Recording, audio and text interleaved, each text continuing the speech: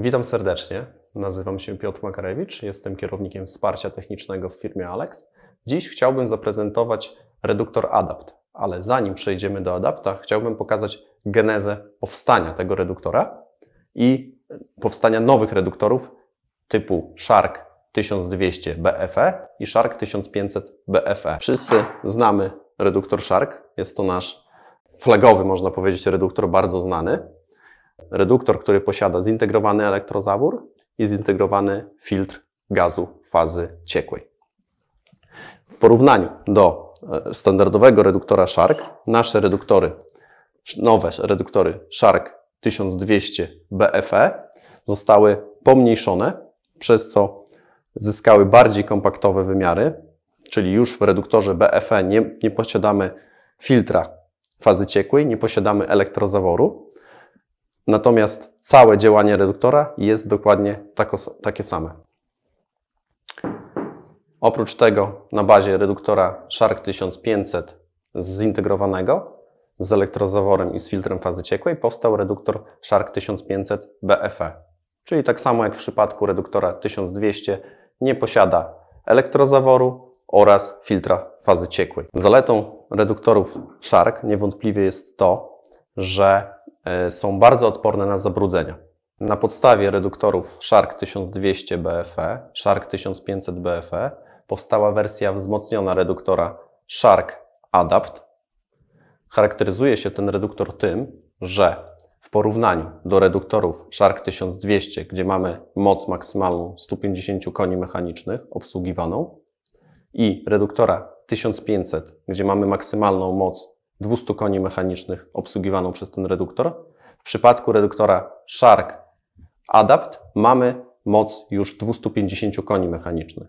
Oprócz tego reduktor charakteryzuje się tym, że razem ze wzrostem ciśnienia w kolektorze ssącym następuje wzrost ciśnienia gazu, czyli jeżeli w przypadku zwykłych reduktorów mamy do czynienia z utrzymywaniem ciśnienia gazu, czyli reduktor stara się utrzymać ciśnienie gazu, zwykle ono spada, niedużo, ale spada, to w przypadku reduktora Shark Adapt mamy do czynienia z wzrostem tego ciśnienia gazu.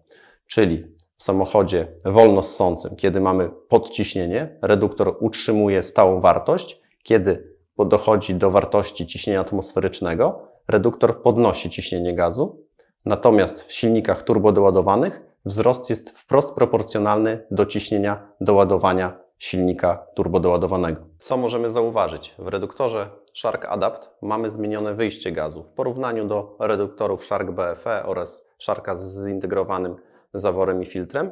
Mamy zmienione wyjście na większe, dlatego że chcemy obsługiwać większe moce silnika, więc tutaj zalecamy, żeby to wyjście pozostało niezmienione, żeby to wyjście było 16 mm, nie 12, tak jak w przypadku reduktora Shark standardowego.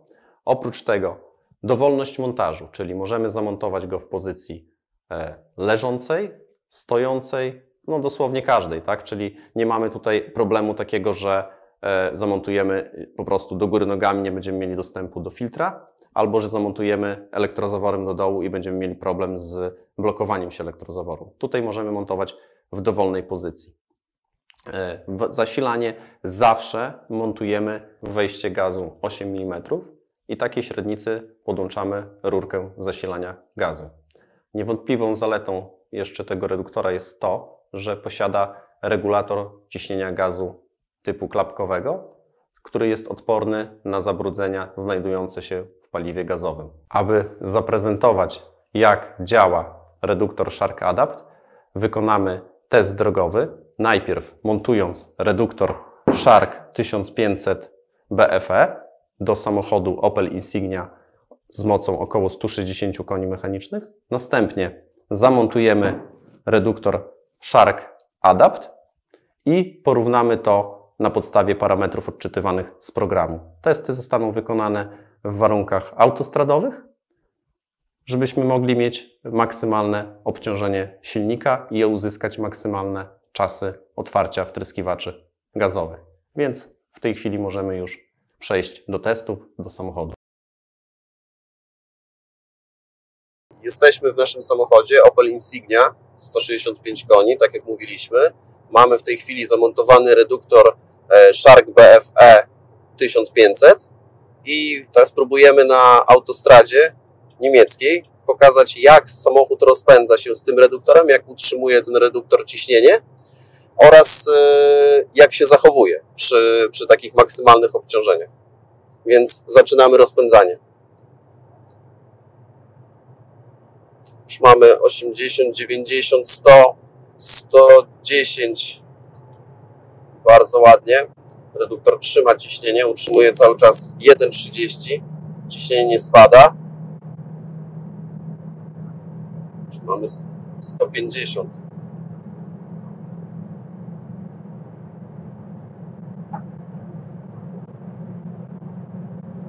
Siedemdziesiąt prawie.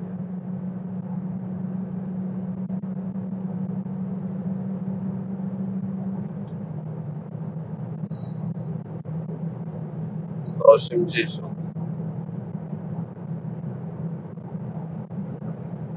No i myślę, że 190 prędkość taką jesteśmy w stanie utrzymać stabilnie, nie zakłócając jazdy innych pojazdów na drodze. Także ciśnienie utrzymywało się na poziomie 1,30 cały czas.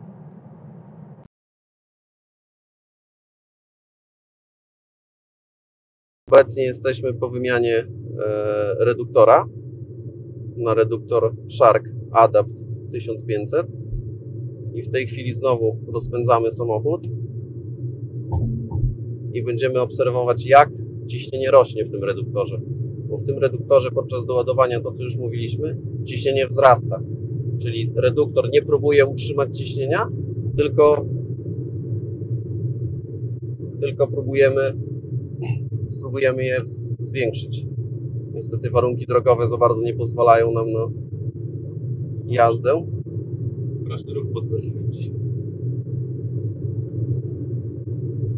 Ale próbujemy. Cały czas widzimy, że ciśnienie utrzymuje się na poziomie 1,55. Teraz już możemy zwolnić.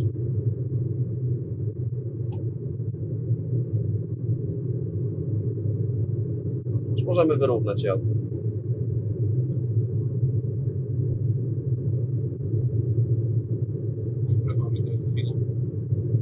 Tutaj widzimy, jak ładnie ciśnienie gazu zmienia się razem z wartością doładowania w silniku tu- turbodoładowanym.